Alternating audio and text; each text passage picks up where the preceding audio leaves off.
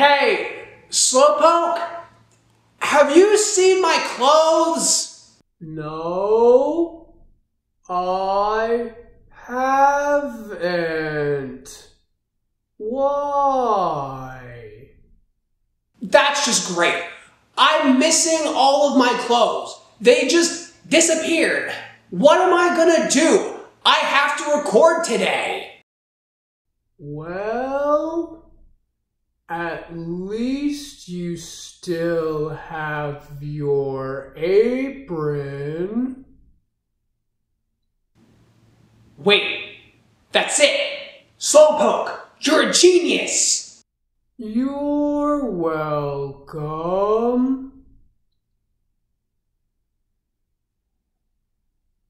Wait, what did I do?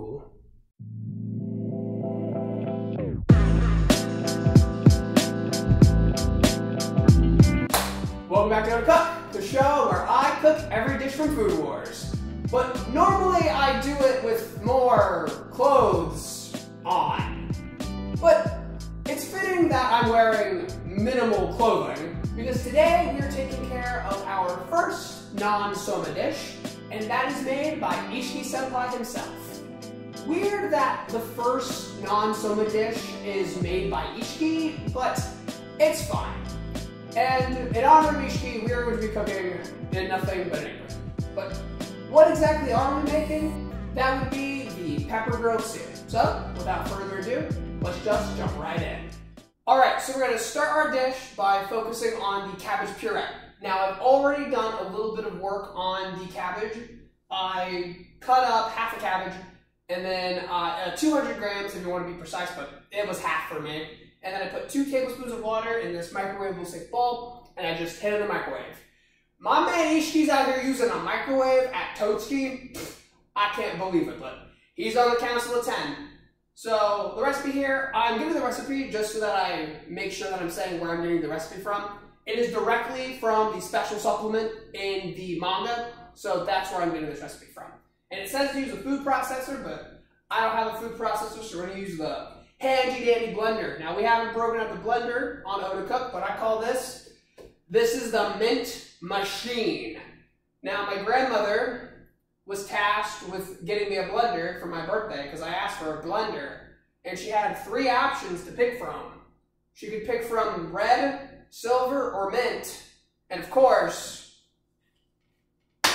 she bought me the mint, as you can see. It's got suction cup, so it sticks to the counter a lot, which is a good thing. So we're gonna pour our cabbage in. Now I hope that my blender can, oh, dang on the mess counter. Oh, my blender can fit all this cabbage, but I guess I won't have to worry about it since I threw half of it into the sink. Also, that bowl was really hot. Also, I don't think you saw that because I'm not recording on my phone, so ha ha ha, you don't get to see how big of a mess I made. Alright, let's throw our cabbage in.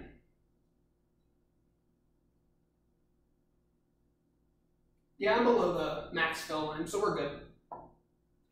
Get that hot bowl of it. Alright, so what we're also going to need is we're going to need one tablespoon of butter, which I already have cut up here. Break into this.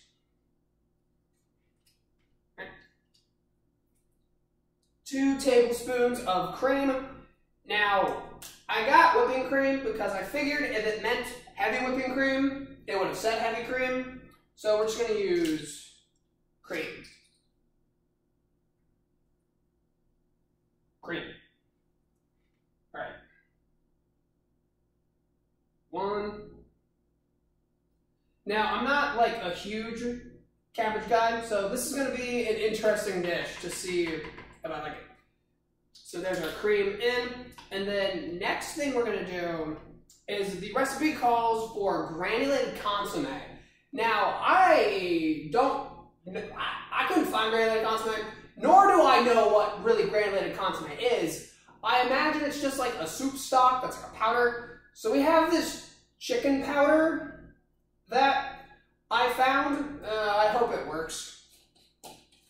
I think the point of it is to just like season the dish So, yeah, we're gonna hope that that's what it does. Uh, gonna throw in, says half a teaspoon, yep, half a teaspoon of the granulated consomme, which this totally is granulated consomme. It, don't let anyone tell you that it's not granulated consomme, because that's what it is. I spilled cream everywhere from the tablespoon. It's fine, it's fine. Okay, we're gonna. Oh, whoa. It like vacuumed in. Did you? You probably didn't hear that. I hope the mic picked that up. That's cool. Um, I think we're locked in, and then we're gonna hold that down.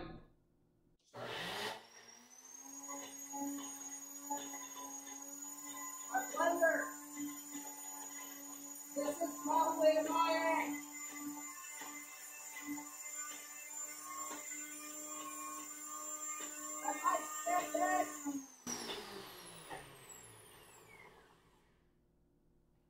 All right, I, th- I think that was fine. I've achieved cabbage puree. It's a little solid, I will say so. I think I'm gonna give it a little bit more. I'm probably gonna skip that though, because that was left. Um, anyway. Yeah, we're gonna give it a little bit more.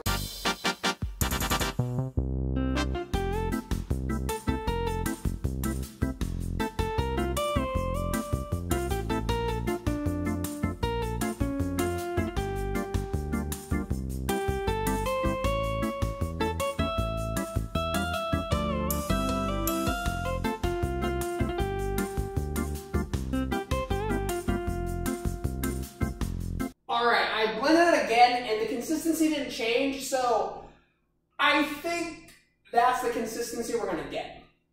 I think if I added in more than like two tablespoons of cream, we'd get a more smoother texture, but it says that it's cabbage puree, and I'd say that's pretty pure. Here, I'll get rid of this garbage in my hand.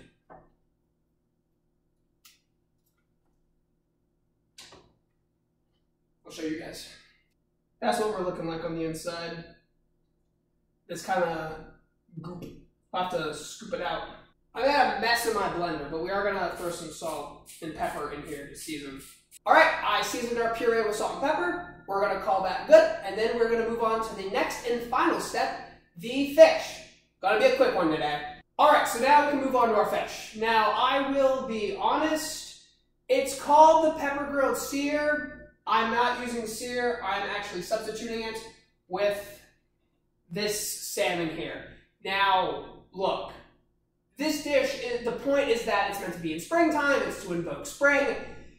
It's the middle of August as I'm recording this. So, I doubt I'd be able to get seer. Heck, even if it was spring, I doubt I'd be able to get seer.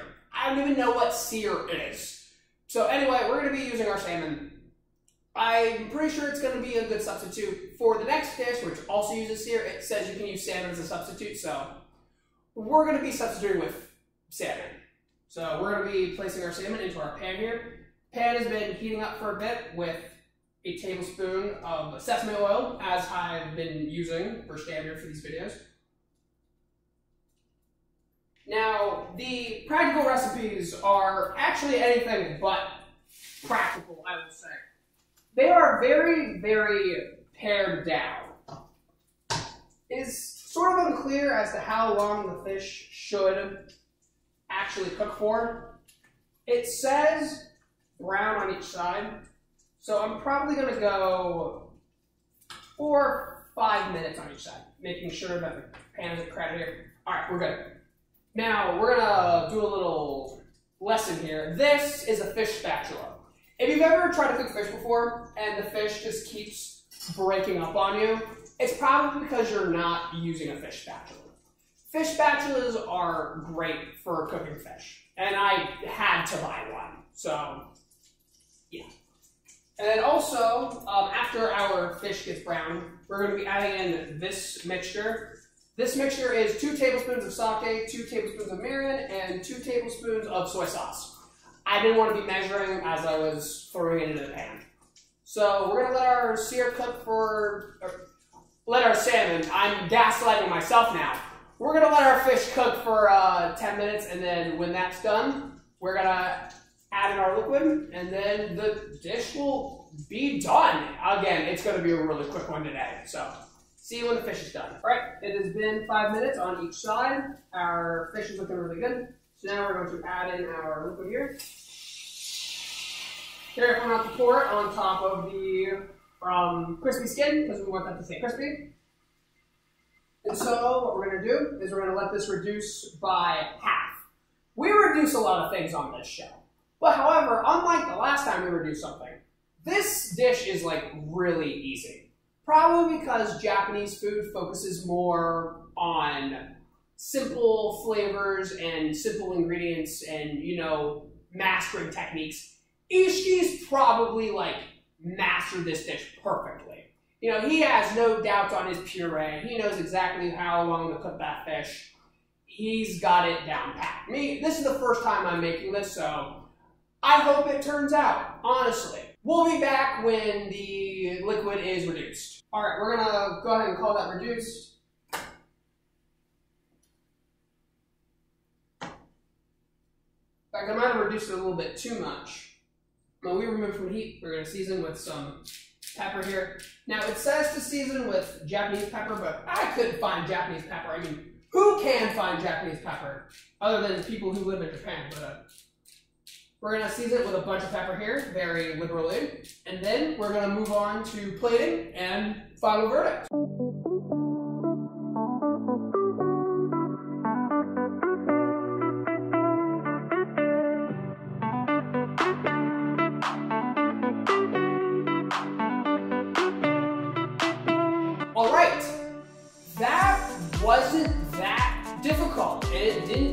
Long either. Now, at the end, I think I did, I did burn the liquid that I threw in there a little bit, so you have to be careful with that. I, I knew I was gonna burn that too. I was like, I'm gonna reduce this too far, aren't I? And then I did. Maybe if I was like stirring it, but whatever. I don't think it's gonna impact the dish too much. I made sure to get a piece of salmon that was further away from the middle where it didn't get a little burnt. But it's fine. Again, I've made mistakes on this show before, but we're gonna look at our dishes. Now, also, I don't know if this is how the puree was meant to turn out. I think I, I think the intention and what I would want is for the puree to be with more sauce. Because it's kind of, this looks like green mashed potatoes. Like, I'm not gonna lie to you. And maybe that was the intention, but I think in like the anime, it looked like a nice, like flowing kind of sauce. This is just like green, again, green mashed potatoes with some fish on top. Now, I don't know what Isshiki like put as a garnish. The recipe had like quinoa meat. I don't even know what that is. And then you had like a piece of like cabbage to make the thing look better. Look, like I'll leave it to the other guys to make the dishes like look exactly like the food in the show. I'm just trying to cook it and see if it's like possible, really, honestly.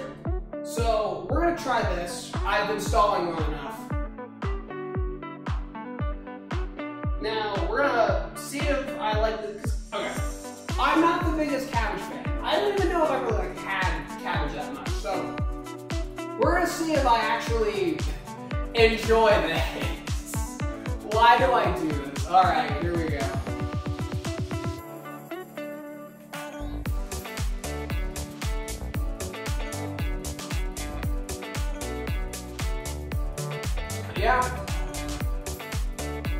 Okay, so like, yeah, that's cabbage. Man, yeah, it's cabbage. Okay, I think we're falling into the same pitfalls as we did on the last dish that we did, where I think it's just a bit too simplistic. Like, I mean, this is a little out there. Is like, like I mean, is this a thing they do in Japan where they just like put like a cabbage puree and they put a fish on top of it? I mean, it's not bad. It's just very cabbage forward and very fish forward because that's what we're dealing with. Now, I didn't have any other options for the recipe today because no one else has attempted to make this on the internet. Like, I'm the only one that's like documenting it and making a video out of it. So I had to like go from the practical recipe. So this is how they, you know, intend the dish to be made. But it's not awful. It's not bad. And honestly, it's kind of like fish and coleslaw, if we want to be real. Yeah, it's just bougie fish and coleslaw. So you got that looking forward to. So I'm gonna finish this up. I'm gonna eat the rest of the salmon, and then we're gonna talk about the chapter breakdown and give more of a final verdict because I always have more to say about the food after I finish a whole plate of it. So catch it when we're finished. All right, now that I have actually eaten the dish in its entirety, I have a few more things to say about it. The dish is actually like pretty good. I mean, like it tasted good, but I think I might have figured out why it's so simple. The context of the dish is at a party. And you know, when you're at a party, there's a lot of different things. You know, Shun, he like smoked like jerky and other stuff. And then, you know, I think her name's Ryoko.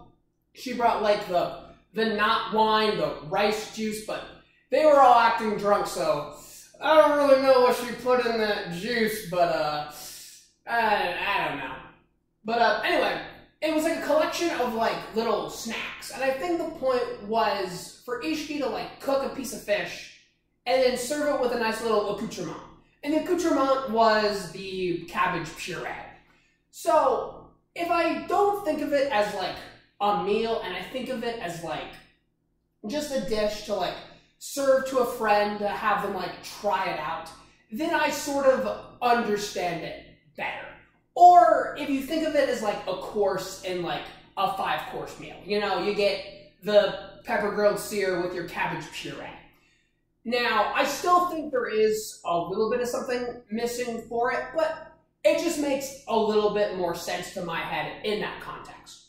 But I spoke a little bit about the chapter earlier, so let's fully get into that.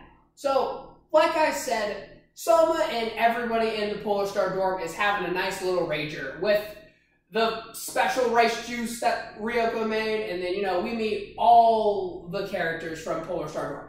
We've got Yuki, we've got Zenji, we've got Shun, we've got Ryoko, we've got the two guys whose names I can't remember. Best girl Megumi's there, and of course, Isshiki's there. Now, speaking more about Isshiki specifically, when we first meet him in the anime, I didn't really like I don't know if it was like his dub voice or the whole like nudity, but I just was like, this guy's kind of creepy, he's kind of weird. But later in the series, he's really cool, and I and I gain more of an appreciation for him. This is also when we get introduced more to the idea of the Council of Ten, which Isshiki is, of course, the seventh member of.